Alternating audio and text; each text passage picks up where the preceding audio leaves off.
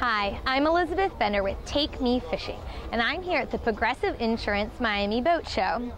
If you own a boat, you want to make sure that you maintain it for as long as possible and that you can get out on the water anytime you want.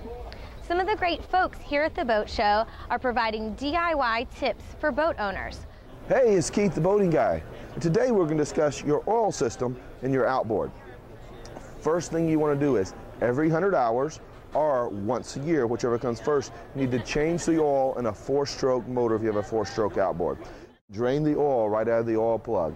Then you want to place new oil, new oil filter. Simply take a rag, cover stuff up in here, pull off the oil filter. When you take the oil filter off, make sure the O-ring comes off of the oil filter when you pull it off. Put a new O-ring back on there.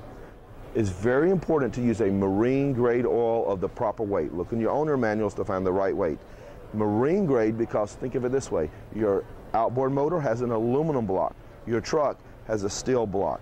The truck runs much hotter temperatures than the outboard motor does, so an automotive grade will never get warm enough in the outboard motor to properly lubricate.